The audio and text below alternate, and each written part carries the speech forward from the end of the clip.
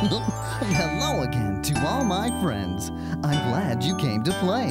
Our fun and learning never end. Here's what we did today. Today, everyone brought toys to give away to children who don't have any. Baby Bop wanted to share something too, but she wasn't ready to give away her ball.